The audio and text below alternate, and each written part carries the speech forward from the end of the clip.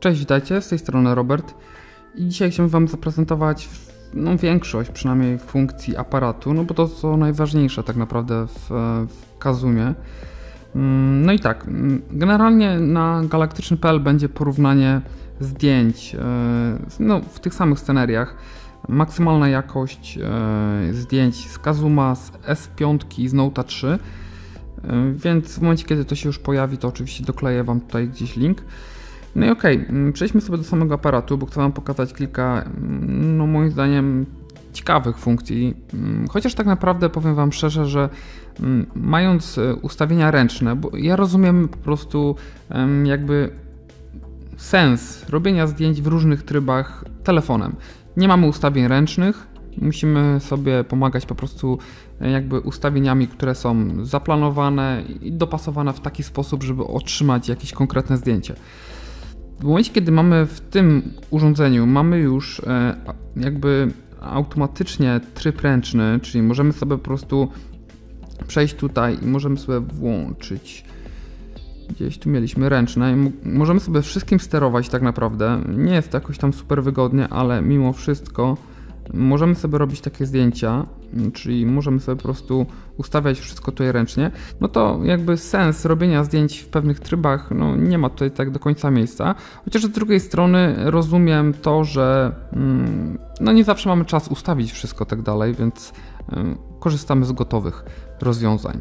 No i okej, okay, dobra, przejdźmy sobie do tych trybów, bo ich trochę jest, żeby je opowiedzieć. Automatyczny generalnie y, robi zdjęcia, te wszystkie zdjęcia, które będą na galaktycznym są zrobione jakby w tym trybie, więc nic nie zmieniałem. Tak jak aparat dobierał, tak dobierał.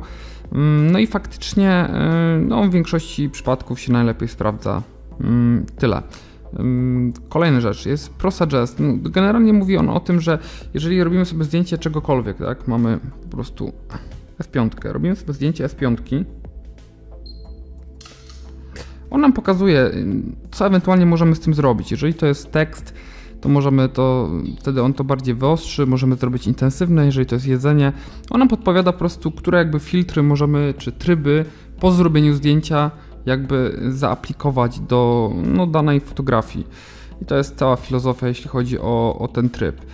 I teraz moim zdaniem najlepszy tryb chyba z tych wszystkich, program, gdzie osobno ustawiamy sobie ostrość, e, w danym punkcie osobno ekspozycję mierzymy sobie. No bo na ogół mamy tak, że jeżeli robimy zdjęcia w jakimś e, takim ciemnym otoczeniu, no to on nam rozjaśni tutaj pierwszy plan, żeby zdjęcie wyszło poprawne, no ale tył będzie prześwietlony. No i teraz możemy sobie to zrobić, patrzcie, robimy sobie tutaj zdjęcie, tu sobie ostrzymy, musi nam dobrze wyostrzyć to.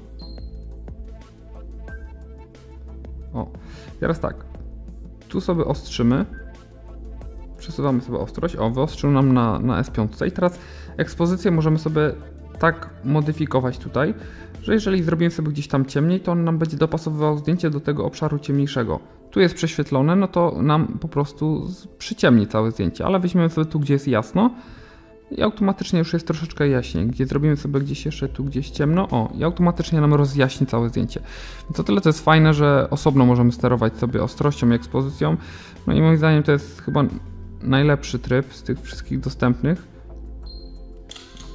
bo, bo w tym momencie mm, jakby są odseparowane te dwie rzeczy od siebie i naprawdę no, no, czegoś takiego nie było generalnie jeśli chodzi. Można to osiągnąć oczywiście na zwykłym aparacie, tak, bo ostrzymy sobie na czymś yy, albo wcześniej blokujemy sobie ekspozycję za pomocą prze, yy, specjalnego przycisku na aparacie, no ale w smartfonie tego na pewno nie było. Yy, kolejny tryb, upiększenie twarzy, no to jest generalnie to znane z, mm, no ze wszystkich y, smartfonów Samsunga, które mają do, mm, jakby do przedniej kamery to automatycznie ustawione. Chodzi po prostu o to, że jeżeli robimy sobie tak, to zobaczcie, że mamy linie papilarne bardzo rozmazane.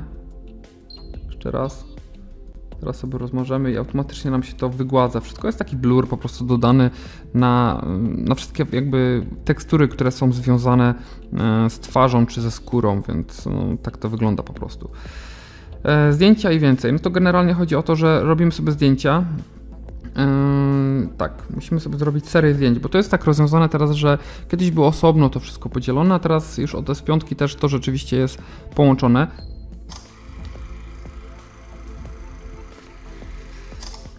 I w tym momencie wygląda to w ten sposób, że to, co jest dostępne, czyli jeżeli by było zdjęcie panoramiczne, zdjęcie dramat, czy jeżeli by po prostu no, te same sekwencje, te same osoby by się pojawiały obok siebie, to można to zrobić. Jeżeli by się pewne elementy powtarzały w kadrze yy, i tylko coś by tam przesłaniało, to można to wymazać. Jeżeli była wykryta twarz, to to najlepszy wyraz twarzy. No i mamy tylko wybór najlepszego zdjęcia, czyli po prostu no, pokazuje nam wszystkie zdjęcia i możemy sobie wybrać, które zdjęcie najbardziej nam pasuje. No i zapisujemy sobie i tak to wygląda, więc e, a to już jest jakby na spiątce. Panorama no to typowo. E, wirtualna ta mm, wycieczka. Mm, pytaliście o to i generalnie to wygląda tak, że bierzemy sobie tak, wyostrzamy i on zaczyna nam robić zdjęcie i musimy dopasować je do tych kulek. No i teraz musimy przejść do przodu, tak, ona pokazuje, że mamy iść do przodu, tak dalej, później skręć w prawo, skręć w lewo, a, tu nas informuje, że źle robimy, tak dalej. E, I sprawa wygląda w ten sposób, że ja tu nagrałem sobie taki przykładowy filmik. Mm, no i jest pokazane, jak to wygląda. Widać, że są jakieś tam prześwietlenia, gdzie się zdjęcia łączą, więc e, są jakby, jakby delikatne tutaj, no takie przekłamania zdjęć, o tak bym to ujął. No ale tak to wygląda generalnie. Po prostu pokazuje nam kamera w którą stronę. Ja tam nie dokończyłem tego tak naprawdę, bo jeszcze musiałbym zrobić do góry, na dół i tam y, mocniej w lewo i mocniej w prawo. No i wtedy mamy taką, taki pogląd tak naprawdę. No i fajnie rzeczywiście to zrobić w jakimś miejscu, gdzie jest dużo dzieł sztuki, czy powiedzmy na w miejscu, gdzie są jakieś, e, no nie wiem, jakiś park czy coś i byśmy chcieli pokazać więcej niż w jednym kadrze. No i mamy taki film z tego tak naprawdę, więc tak to się prezentuje. Ok, kolejne tryby. No to HDR, no to tu szkoda, że akurat nie jest to wbudowane jakby tak jak w S5, że można automatycznie sobie to włączyć. Mm, tryb nocny, no czyli po prostu dłuższy czas naświetlania i tak dalej i zmniejszone tam ISO, żeby, żeby po prostu nie było tych szumów. Zdjęcia seryjne, no i generalnie tak, y, im szybciej tutaj zrobimy, te, znaczy robi szybko te zdjęcia i tak dalej, później wybieramy również to, które jakby nam najbardziej pasuje. E, alarm, mm, jakby ten alarm autoportret czy autoportretu. Generalnie chodzi o to, że jeżeli teraz skierujemy po prostu na siebie kamerę e, i klikniemy sobie zdjęcie, to automatycznie on wykrywa jakby największy element, który jest na, e, na naszym obiektywie, w naszym obiektywie i ostrzy właśnie na twarzy. On wykrywa, że to jest twarz i ostrzy na tym elemencie, żeby po prostu powiedzmy to selfie wyszło poprawne, tak. O, to jest taki typowe mm, do selfie, tak myślę. Ręczne to jest to, co Wam pokazywałem. Tu możemy sobie poustawiać właśnie ISO, mm, przysłonę, czas naświetlania. Jakieś tam super też ustawień nie ma. Szkoda, że nie jest to w postaci tej rolki, to już też wspominałem, no bo to rozwiązanie jest tutaj jakby trochę głupie, więc e, no nie wiem. Zdjęcia dzieci, no to po prostu chodzi o to, że mm, nie są jakieś przekoloryzowane czy coś takiego, tylko w momencie, kiedy klikamy, uruchamia się taki dźwięk żeby odwrócić uwagę dziecka i żeby przykuć ją właśnie do, do aparatu, żeby się uśmiechnęło albo coś. Tam kilka, kilka, tych, kilka tych dźwięków jest i tak to wygląda. Ok, pocztówka. Generalnie no to takie trochę instagramowe, że po prostu są y, bardziej y, niebieskie jest niebo, tak dalej. Świt i, i zachód, który mamy później, no to, to generalnie to kwestia jest tego taka, że sami możemy sobie to ustawić, bo to chodzi o ekspozycję oczywiście, więc Generalnie chodzi o to, żeby wszystko było dookoła ciemne przy zachodzie i było tylko mm, pomarańczowe niebo, czy tam pomarańczowe słońce ładne, a przy świcie y, również delikatnie jaśniej te zdjęcia wychodzą. Śnieg, makro. Przy makro o, o, tyle jest akurat fajnie, że bliżej ostrzy po prostu jakby elementy, które sobie wybierzemy. I kwestia jest tego taka, że, że nawet możemy... O, tu już nie łapię. Więc po prostu w trybie makro po prostu troszeczkę bliżej możemy podejść do, do tego obszaru. Dziwnym rozwiązaniem jest to, że nie możemy sobie tutaj powiększać w tym trybie makro, no ale ok, niech będzie. Jedzenie, no, no ja nie wiem, no, czy, czy to jest naprawdę potrzebne, ale ok. Mm, tutaj wewnątrz to jest o tyle fajne, że mm, rzeczywiście, jeżeli mamy jakieś zdjęcia przy małej lampce czy coś, no to mm, bardzo wyższe ISO po prostu ustawia, żeby zdjęcia nie były rozmazane tak dalej. No ale to też możemy uzyskać jakby w normalnym trybie. Kolejna rzecz, e, stop klatka, no to chodzi o to, że po prostu zdjęcia są robione w trybie takim sportowym, czyli bardzo szybko. Czyli generalnie mamy bardzo szybką migawkę, wyższe ISO, żeby to zdjęcie wyszło poprawne, jeśli chodzi o ekspozycję. Mm, no i tyle. Wodospad, no to w drugą stronę, po prostu jest długi czas naświetlania i jest wyższa przysłona, bardziej, w sensie bardziej domknięta i wyższe ISO, żeby po prostu pokazać ten ruch wody i, i wtedy musimy trochę dłużej wytrzymać z aparatem. To w różnych miejscach się. No to na przykład tak samo jak samochody jadą i widzimy jakieś rozmocane tło, tak? No to dokładnie tym samym trybem możemy to zrobić. Dźwięki obraz to znacie, czyli tam ta ileś tam sekundowa, kilkusekundowa jakby sekwencja to 9 sekund.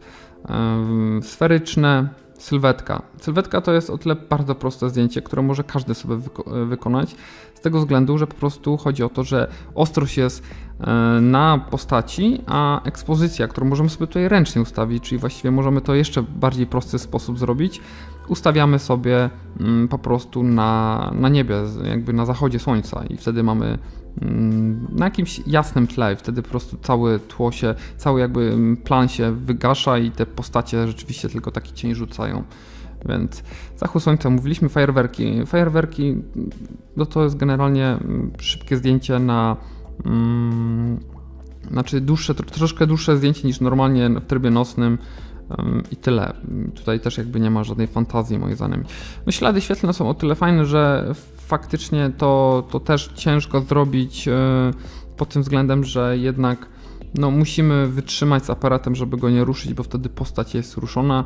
A tu chodzi o to, że jak robimy takie zdjęcie, no to automatycznie on wykrywa te jaśniejsze takie jakby elementy, czyli te świat, jakby ślady świetlne, no to jest tak samo jak przy tych samochodach, co na przykład pokazywałem Wam zdjęcie z Warszawy, zrobiłem NX30, no to bez tego specjalnego trybu można to samo osiągnąć. No i teraz Wam tylko pokażę, że ja tutaj włączyłem wszystkie tryby, które są dostępne. Nie widziałem, żeby było więcej coś do zainstalowania. I generalnie jeśli chodzi tylko jeszcze o opcje, no to, aha, to musimy przejść sobie do trybu automatycznego, bo to jednak e, tutaj będzie, będzie wszystko z tych opcji. Jest maksymalna jakość zdjęć. Mamy samowyzwalacz, wyświetlanie trybu po prostu w rogu. E, można dotknąć, żeby zrobić zdjęcie. Mamy dodatkowe efekty, które możemy sobie tutaj zastosować przed zrobieniem zdjęcia. Widzimy je w podglądzie, to też w standardzie już jest podpis. E, możemy sobie wszędzie włączyć ten Photo Suggest, e, sterowanie głosem, rozmiar filmów. Mamy tutaj 60 klatek, co prawda w, w 1080, czyli Full HD. E, mamy oczywiście przyspieszenie, zwolnienie i tak dalej. E, jest tutaj trochę tego więcej. Znowu jest tak samo jak tutaj, czy jeżeli włączymy sobie jakąś, czekajcie, tu musimy to włączyć, to powinno nam się zmniejszać jakość tutaj tego nagrania niestety. O, widzicie, już się do 720 zjeżdża. To i chyba tak trochę lepiej niż w smartfonie ale generalnie oczywiście niestety ta jakość spada w tym momencie. No i zdalny wizjer to Wam również pokażę i to już widzieliście kilka razy. Możemy wyłączyć nagryw- znaczy dźwięki, które um, ciche powiększenie, a to przy powiększaniu tylko wycisz. A czy będzie działał w ogóle wycisz? Nie, migawka zawsze będzie. Ok, no to jakby te tryby to wyglądają tak. No tutaj standardowo uruchamiamy sobie nagrywanie, tutaj zdjęcie albo migawka tutaj, więc również tutaj powiększanie Możemy sobie przesunąć później w ten sposób. To jakby było wszystko. Jeśli macie jakieś pytania, dajcie znać. Yy, oczywiście, jeżeli będzie ten, yy, to porównanie, to Wam wrzucę tutaj linka. Trzymajcie się, no i dziękuję. Pozdrawiam, cześć.